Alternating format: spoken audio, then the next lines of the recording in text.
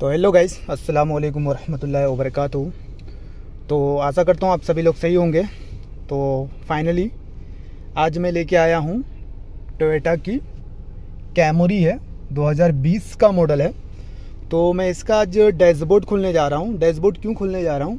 क्योंकि इसका जो एसी चालू करते हैं ना तो एक साइड से कूलिंग आ रही है और एक साइड से कूलिंग आ रही है, इस साइड से भी आ रही है, लेकिन इस साइड से कम आ रही है एक साइड से ज़्यादा आ रही है। तो सबसे पहले गैस वगैरह लेवल किया।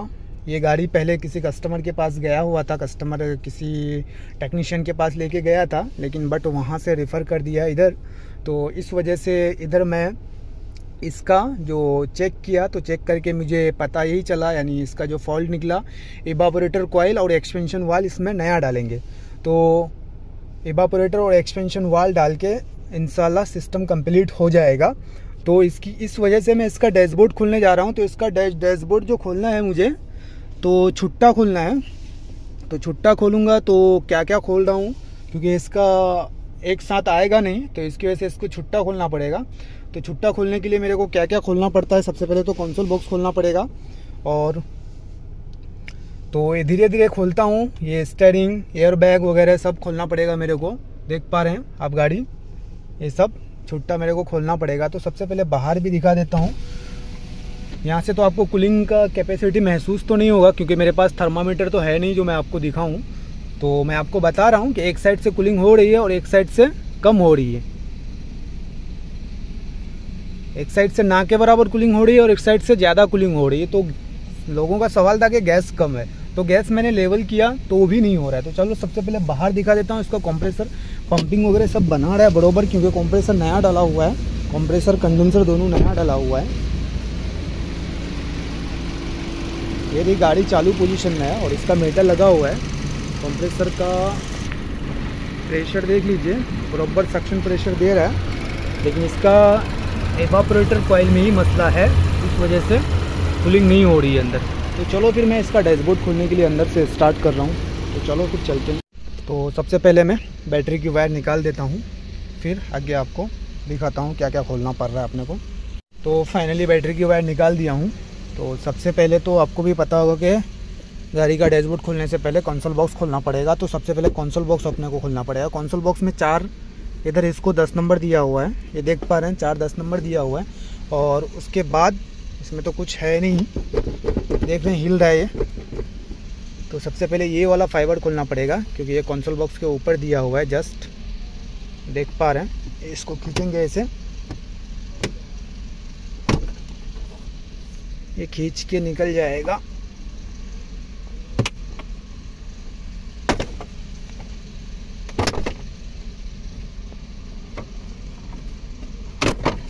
तो ये फाइनली निकल चुका। इसमें एक सॉकेट है।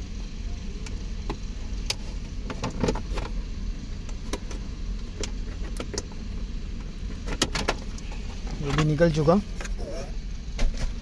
तो ऐसे में वीडियो बनाऊँगा तो बहुत लंबी हो जाएगी। उसके बाद ये वाला फाइबर खुलेगा। तो ये सब खोलता हूँ। खोल के फिर मैं आगे आपको दिखाता हूँ। थोड़ा पहले फ़र्स्ट का सिस्टम आपको बता देता हूँ कि ये कंसोल बॉक्स खुलने के बाद ये फाइबर तो इधर से खुलेगा।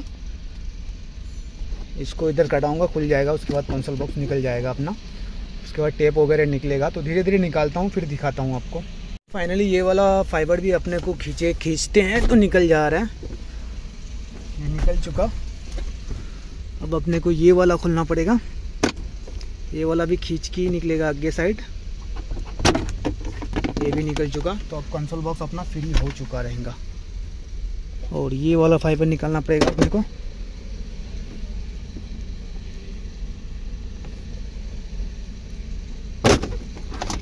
ये भी निकल चुका। ये लाइटर दिया है इसमें। लाइटर का है शायद। हाँ लाइटर का है ये। लाइटर का चार्ज वगैरह करने का। और उसके बाद ये निकल जाएगा अपना। तो चलो फाइनली इसको मैं निकालता हूँ। फिर आगे आपको दिखाता हूँ। फाइनली उधर का सब तो खुल गया। अब ये वाला इसको, यहाँ से माइनस इसको डॉट से इसको ऊपर ले लेने का। ये ऊपर आ जाएगा। तो पहले इसको निकालेंगे, फिर नीचे वाले को निकालेंगे। तो इसको निकाल देता हूँ, फिर आगे आपको दिखाता तो हाय गाइस मैं ये पहले इसको खोला नहीं था, वापस से मेरे को बैटरी की वायर लगानी पड़ी, क्योंकि ये तो ना तो न्यूट्रल एंड पे आएगा। पी के पी के ऊपर रखेंगे तो ये गियर पे, और सिर्फ़ गियर चेंज होगा नहीं। तो इस वजह से पहले आप इसको निकाल लें। इसको नीचे से स्क्रू दिया हुआ रहता है। चार छः स्क्रू रहता है। छः स्क्रू खोलेंगे तो ये नीचे आ जाएगा, फिर ये इजीली अपना बाहर आ जाएगा। देख पा रहे ये निकल चुका।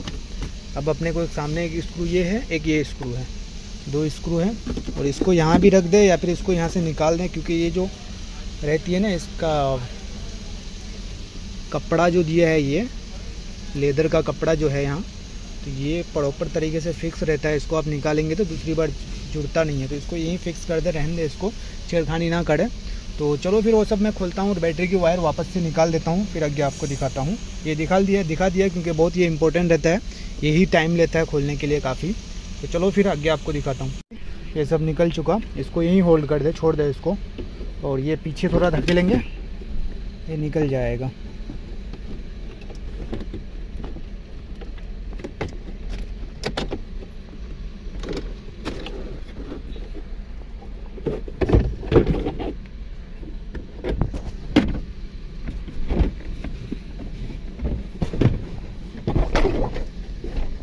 पीछे कुछ वायर भी नहीं वायर वगैरह दिया हुआ नहीं रहता है। तो चलो फिर सबसे पहले एयरबैग की लॉक निकाल के दिखा देता हूँ। इसका एयरबैग में लॉक कैसा दिया हुआ रहता है, ये देख लीजिए, यहाँ से देखेगा क्या नहीं?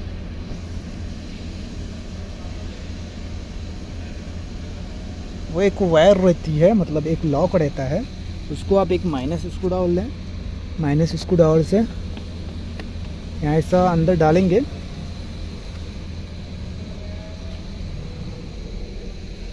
ये एक वायर दिखेगा आपको। उसको आप ऐसे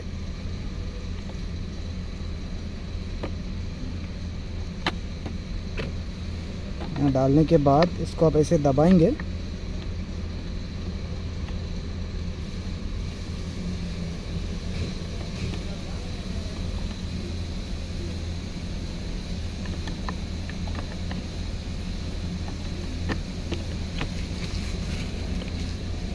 जम नहीं रहा है अपने को।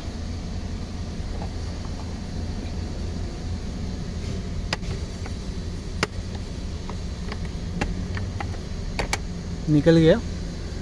अब वैसे ही इस तरीके से यहाँ एक लॉक दिखा रहे तो चलो इसको मैं खोल लेता हूँ, फिर लॉक दिखा देता हूँ। इसके बाद और एक लॉक इधर रहेगा।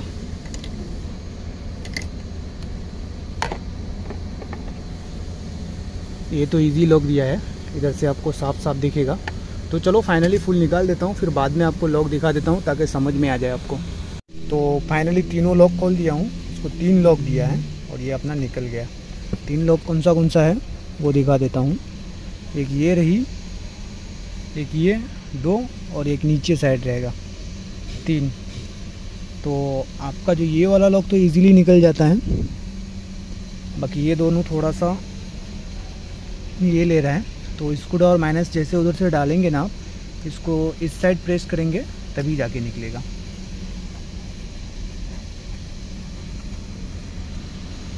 होल दिखा देता हूँ। ये रही, तीन होल दिया है तो तीनों होल में से लॉक निकल गया है। तो निकालेंगे आप। तो चलो फिर फाइनली ये सब एयरबैग वगैरह निकालता हूँ, फिर आगे का नेक्स्ट स्टेप ये स्टेयरिंग खोल देता हूँ, खोल के फिर आगे आपको दिखाता हूँ। तो फाइनली स्टेरिंग निकाल दिया हूँ। अब अपने को ये सब चीज़ें खोलना है। ये पूरा खोलता हूँ, ये सब धीरे धीरे मीटर वगैरह खोलता हूँ टेप वगैरह खोलता हूँ। फिर आगे आपको दिखाता हूँ। ये फीज बॉक्स तो ऐसे ही खोलोगे तो निकल जाएगा। ये वाला ये निकाल करके नीचे का। तो चलो ये सब फिर खोलता हूँ। ये खोलना इजी है। ये एक स्क्रू एक स्क्रू इधर दिया है। और उसके बाद ये फिजॉक्स का कवर वगैरह, ये सब वगैरह निकालता हूँ मैं मीटर वगैरह, फिर आगे आपको दिखाता हूँ। इधर भी दो मीटर में दो स्क्रू दिया है तो ये सब खोलता हूँ। खोलने के बाद और एयर बैग के, ये air bag ring lock ring को जो है आप टेप मार के रख दें। ज़्यादा सेफ़ रहेगा, घूमेगा नहीं और आपको बैठाने टाइम भी प्रॉब्लम नहीं करेगा।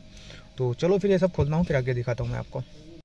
तो फाइनली अपना ये भी नीचे का निकल गया, ये पैनल इधर का भी खोल दिया हूँ और ये रही, ये खींचेंगे, ये निकल जाएगा। उसके बाद ये रही, इसका दो स्क्रू नहीं, क्लिप दिया है, ये दोनों क्लिप खोलने के बाद। ये इजीली बाहर आ जाएगा।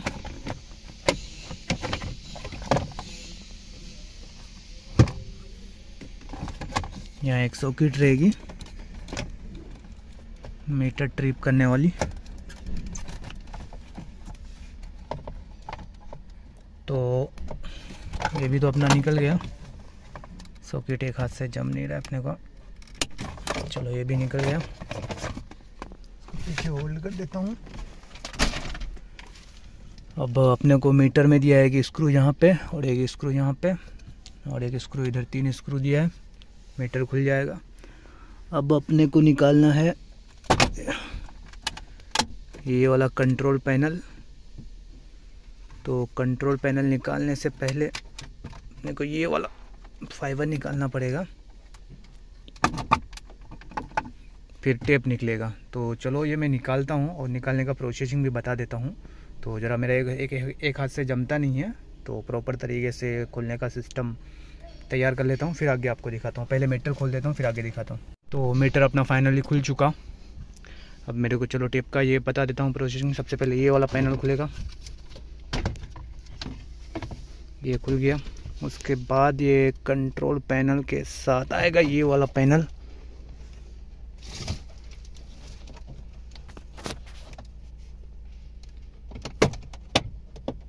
लॉक में रहता है सब ये। इसमें दो सौ किट है। एक ये वाली और एक ये वाली। उसके बाद टेप में रहेगा चार, एक दस, नंबर एक यहाँ और एक यहाँ और एक यहाँ यहाँ। दो मैं पहले खुल चुका था तो मुझे लगा शायद इसके साथ ही आ जाए तो बेटर रहेगा, लेकिन साथ में आया नहीं। तो चलो ये दोनों दस नंबर खोल के टेप निकालता हूँ। फिर उसके बाद आगे आपको दिखाता हूँ क्या खोलना पड़ेगा। ये निकाल दूँगा, ये सॉकेट वगैरह निकालूँ तो भी चलेगा, ना निकालूँ तो भी चलेगा, देखता हूँ।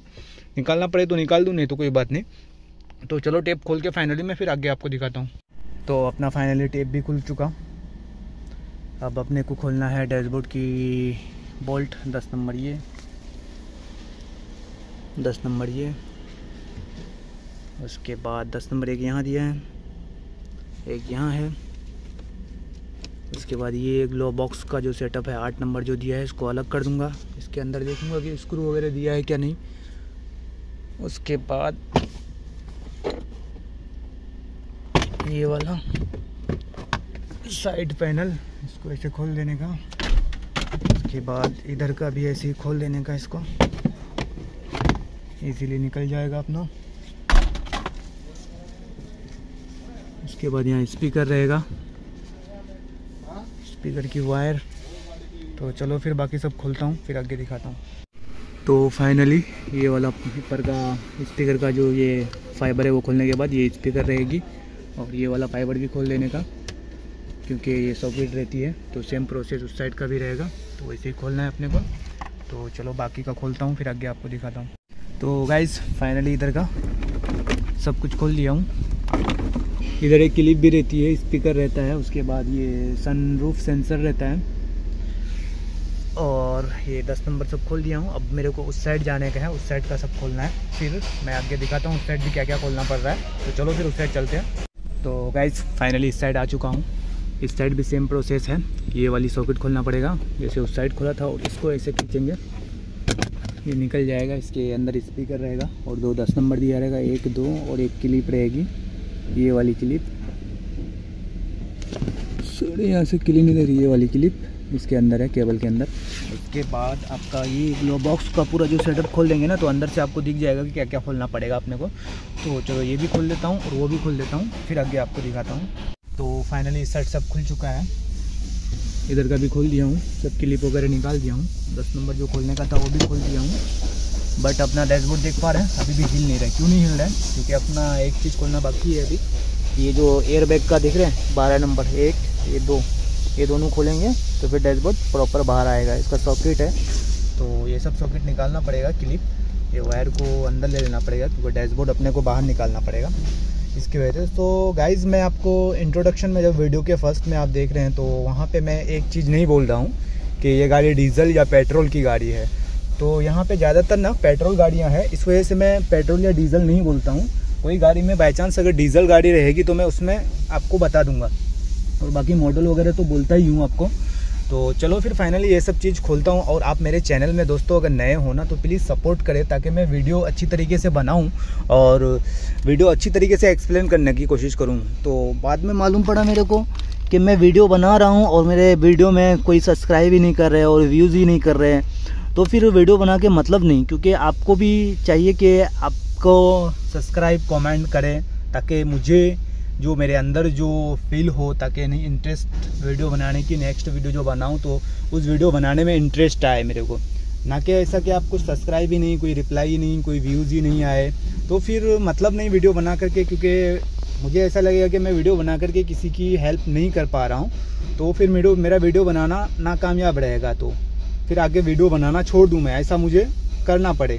तो ये चीज़ अगर बरकरार रखना चाहते हैं आप तो फिर आप कमेंट सपोर्ट लाइक कमेंट जो भी होता है एक यूट्यूब चैनल में अगर मैं वीडियो क्रिएट कर रहा हूँ वीडियो बना रहा हूँ तो आपका फ़र्ज़ जो बनता है आप वो करें। तो चलो फिर मैं आगे इसका ये दोनों एयरबैग खोल करके फिर आगे मैं आपको दिखाता हूँ। तो चलो फिर खोलने के बाद मिलते हैं। तो गाइज़ पूरी तरीके से डैशबोर्ड खुल चुका है और एक चीज़ है मैं यहाँ तो ये विंडशील ग्लास के ऊपर जो एयर आती है, ये वाला फ्लैप खोलने की ज़रूरत थी नहीं अपने को। बस खोले क्यों? क्योंकि ये वाला सॉकेट निकालने के लिए। वहाँ से हाथ तो जाता नहीं बाद में। कोई कोई गाड़ी में हाथ डाल के इधर से निकालना पड़ता है। लेकिन बट ये वाला गाड़ी में आपने को जगह मिला उधर तो अपन निकाल दिए। तो चलो फिर बाकी, इसको निकालता हूँ मैं। पूरा डैशबोर्ड निकल चुका है, देख पा रहे हैं। तो बाहर निकालता हूँ, फिर आगे आपको दिखाता हूँ। तो गाइज़ फाइनली डैशबोर्ड निकाल दिया हूँ। और डैशबोर्ड जो है, ऊपर रख दिया हूँ होल्ड कर दिया हूँ। और अपने को अब निकालना क्या है? एंगल वगैरह निकालना है। तो एंगल वगैरह निकालने के लिए सब वायरिंग का ये मेरे को सेटअप खोलना पड़ेगा। ये निकलता है इसकी वजह से नहीं, अखंडी, क्योंकि देख पा रहे हैं हम डैशबोर्ड खुलने के बाद ही ये सब चीज़ें दिख रहा है कि कौन सा कौन सा बोल्ट अंदर से दिया है किधर किधर से दिया है। देख पा रहे हैं आप ना क्लियर पूरा। तो चलो फिर एंगल खोलने की जुगार में लग जाते हैं अपन। एंगल कहाँ कहाँ से खो क्या क्या खोलना पड़ेगा, वो सब चीज़ें मैं बता रहा हूँ आपको।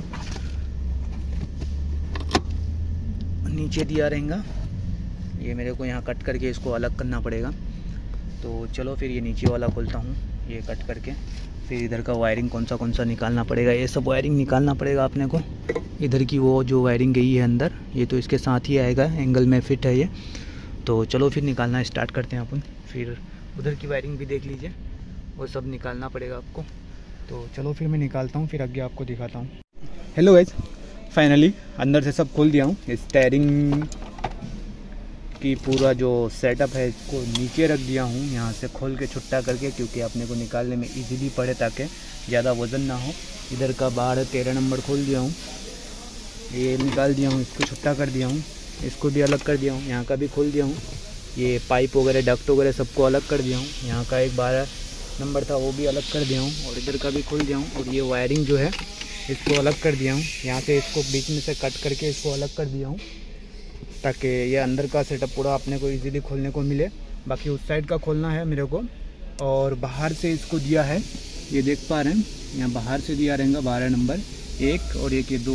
तो वाइपर जाली वगैरह पड़ो वाइपर कॉल पैनल वगैरह मेरे को खोलना पड़ेगा। तो चलो बाहर चलते हैं। बाहर चल के फिर मैं आगे आपको दिखाता हूँ। तो फाइनली अपन बाहर आ चुके। ये देख पा रहे हैं, चौदह नंबर वाइपर ब्लेड में दिया है और एक ये रही दोनों वाइपर ब्लेड को खोलना पड़ेगा, कॉल पैनल खोलने के लिए।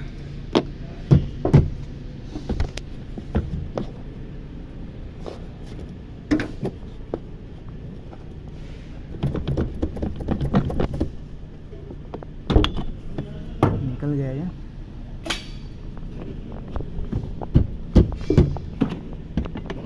ये भी निकल चुका अपना। तो ये सब सामान निकाल लेते हैं अपन। फिर उसके बाद कॉल पैनल इजीली निकल जाएगा अपना। एक दो क्लिप दिया रहेगा, एक क्लिप इधर है तो सेम उधर भी क्लिप रहेगा। तो ये क्लिप निकाल के कॉल पैनल निकाल के, फिर आगे आपको दिखाता हूँ। तो गाइज़ ये कॉल पैनल जब आप खोलेंगे ना तो ये इसमें चिपका हुआ रहता है। इसको संभाल के खोलें।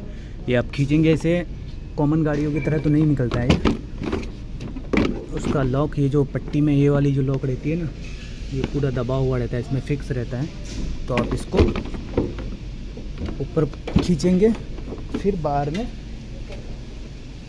बाद में सामने खींचेंगे, तभी निकलेगा ये। तो चलो, अपना फाइनली पूरा निकल चुका।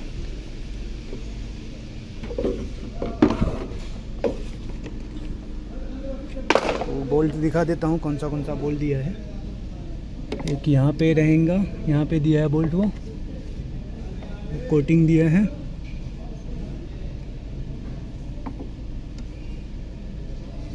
तो चलो फिर मैं इसका कोटिंग निकाल करके फिर बाद में दिखाता हूँ आपको आगे। तो गाइस फाइनली ये रही एक बोल्ट ये, और एक वहाँ बोल्ट, और एक जो बोल्ट है, ये वाली जो खुला हुआ होल दिख रहा है। तीन बोल्ट टोटल मेरे को खोलना पड़ा। दो कॉल पैनल के अंदर से और एक नीचे से। तो अपना अब अंदर जो है डैशबोर्ड सॉरी एंगल बाहर आ जाना चाहिए। चलो फिर अंदर जाके आपको दिखाता हूँ मैं। तो गाइस फाइनली बाहर से अपना हीटर का पाइप भी खोल दिया हूँ और कूलिंग कोयल का भी जॉइंट खोल दिया हूँ सब। देख पा रहे हैं? तो सब खुल चुका है। बाहर से अपने को और कुछ खोलने की ज़रूरत तो नहीं है। तो चलो फिर अंदर आपको मैं दिखाता हूँ। अंदर क्या क्या खोला गया है अपना। तो अंदर भी सब खोल दिया गया है, जितना भी खोलने का था अपने को। अपन करने वाले क्या है कि इसको क्लाइमेट कंट्रोल यूनिट जो है ना, उसके साथ निकालने वाले हैं एंगल के साथ।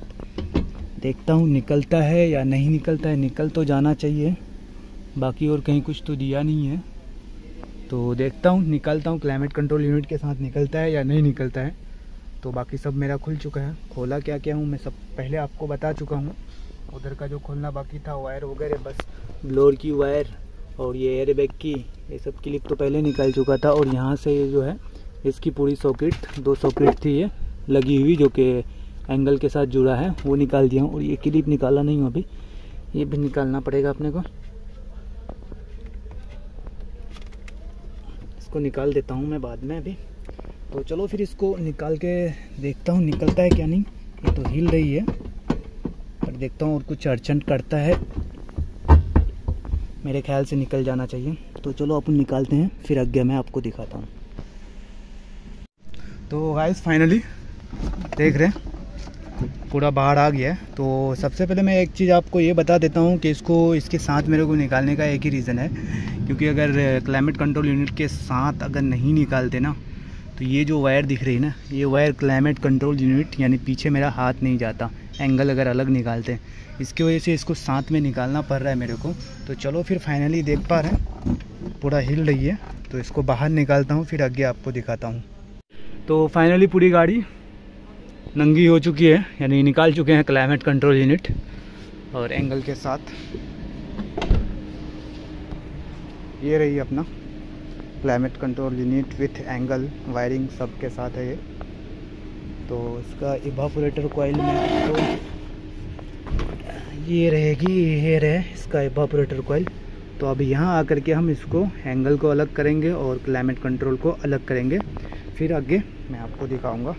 तो चलो फिर आगे खोलता हूँ, फिर आगे दिखाता हूँ आपको। तो फाइनली गाइज़ ये बॉडी यहाँ से निकाल के इसको ब्लोर का निकाल दिया हूँ और एवापोरेटर कोयल खोल दिए अपन। तो एक्सपेंशन वाल निकालना पड़ेगा, फिर ये एवापोरेटर अपना बाहर निकलेगा। तो मेरे ख्याल से तो एक्सपेंशन वाल मेरे को अभी भी जाम दिख रहा है, लेकिन अब कूलिंग कोयल का ये देखेंगे कूलिंग कोयल जाम है या फ्री है। तो चलो इसको खोलते हैं, खोल के फिर दिखाता हूँ मैं आपको आगे। तो हेलो फाइनली ये अपन खोल दिए हैं इसको। तो आपको वहाँ से तो समझ में नहीं आएगा, लेकिन मैं इसका चेक करने का ट्रिक एक बता देता हूँ आपको। आप इधर से डिस्चार्ज वाले लाइन से यानी डिस्चार्ज से जो सॉरी मतलब लिक्विड फॉर्म में चेंज होकर के एक्सपेंशन वाल से जो इंटर करता है कूलिंग कोयल में गैस तो उसमें आप हवा मार के देखिएगा मुँह से। हवा मार के जितना मुँह में आपका प्रेशर है ना, उतना मुँह से प्रेशर मार के देखिएगा। अगर प्रेशर मारेंगे तो पूरा फ्रीली आना चाहिए। आपके मुँह में प्रेशर नहीं बनना चाहिए, हवा मारेंगे तो। फ्रीली आना चाहिए नंबर वन और नंबर दूसरा, कि अगर इसमें हवा फुल प्रेशर से मुँह से मारेंगे ना तो अंदर कोई भी आवाज़ नहीं आना चाहिए। जैसे कुछ अटका हुआ हो या फिर ऑयल वगैरह जाएगा तो घर घर घर घर की आवाज़ आएगा। वो चीज़ें आवाज़ नहीं आनी चाहिए। तो मैं इसमें प्रेशर मारा। तो ये जाम है कॉयल और ऑयल की पूरा इधर आवाज़ आ रहा है। तो ये चीज़ें नहीं होनी चाहिए। तो चलो फिर मैं इसमें नया वाला फिटिंग करता हूँ, फिर आगे आपको दिखाता हूँ। ये देख लीजिए इसका कूलिंग कॉयल कैसा दिख रहा है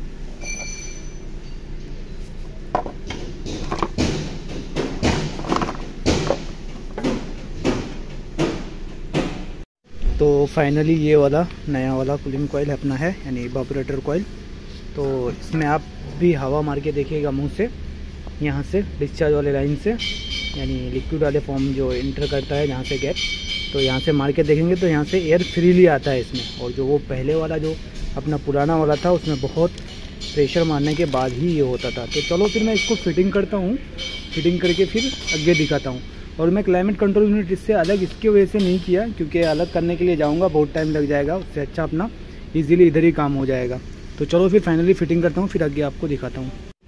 तो गाइज़ फाइनली पूरा फिर फिट हो चुका, देख पा रहे पुरानी वाली कोयल इधर है, नई वाली कोयल फिटिंग कर दिया एक्सपेंशन वॉल के साथ।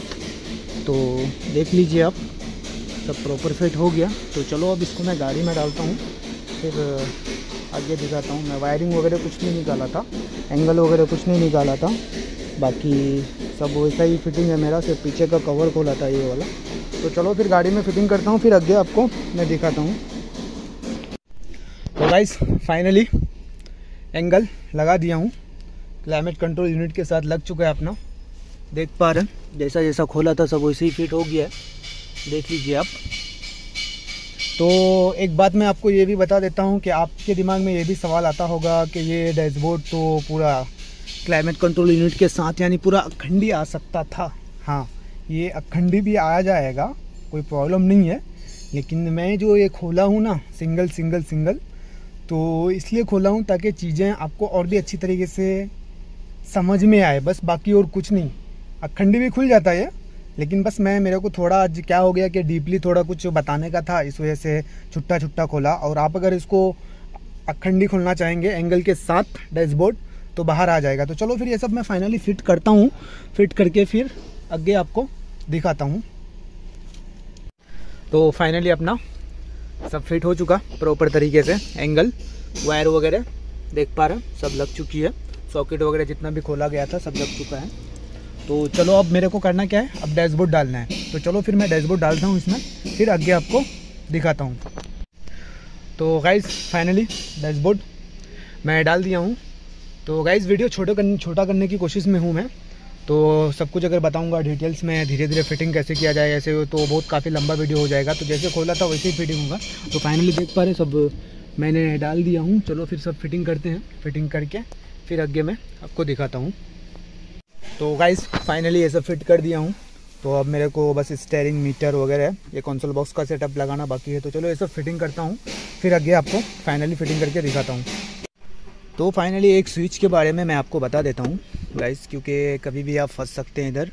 तो ये जो है ना, ये गियर पी एन पी पे रखेंगे ना तो इसको न्यूट्रल पे या फिर डी पे लाना या आर पे लाना बहुत मुश्किल हो जाता है। नहीं ला सकते हैं आप इसको, जब तक के बैटरी वायर नहीं लगाएँगे। देख पा रहे हैं, ये स्विच प्रेस कर रहा हूँ तो नहीं आ रहा है। यहाँ क्लच भी दबाएँगे आप। ये स्विच नहीं आएगा, लेकिन इसमें एक स्विच दिया हुआ रहता है, जो कि वो स्विच दिखा दे रहा हूँ मैं आपको, ये वाला। इसको आप प्रेस करेंगे और इसको दबा करके ये शिफ्ट चेंज हो जाता है यहाँ से। तो ये चीज़ मैं आपको बता दिया।